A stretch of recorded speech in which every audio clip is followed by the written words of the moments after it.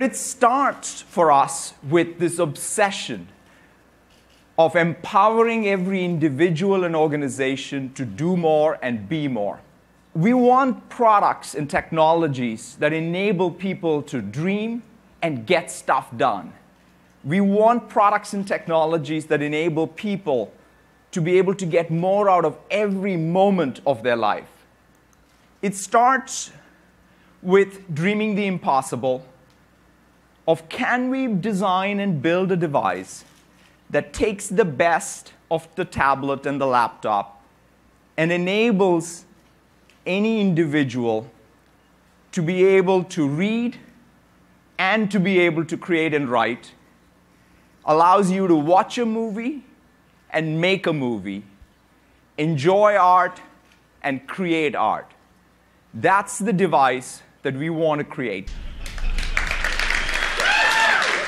Ladies and gentlemen, this is the tablet that can replace your laptop, Surface Pro 3.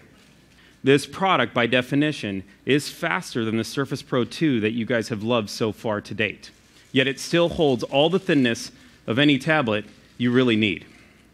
The next question has to be so you made it bigger. It had to have gotten heavier. Absolutely not. As much as we designed in thinness, we designed in lightness. So important to understand that if we're going to transform and push the industry and make new markets with devices that you need, you have to accomplish a great weight to thinness to size ratio. I'll put the surface here. I'm going to grab this MacBook here. And I just want you to look at that. But then you say, well, then didn't the device then get weaker? It's a thinner piece of glass, isn't it? No, no. It's the same unbelievably strong chassis that I'm about to drop, and it doesn't break, and we don't worry. You don't worry at all. You need to pick up your device, your piece of paper, and you need to click your pen because you know you can write. And when you click it, even if your device is off, you have to know you can write immediately. We have a beautiful feeling pen tip. You can write in detail, you can use Photoshop and make art.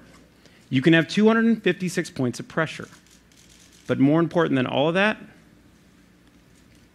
is you can write your notes, and the minute you click your pen, they go right into the cloud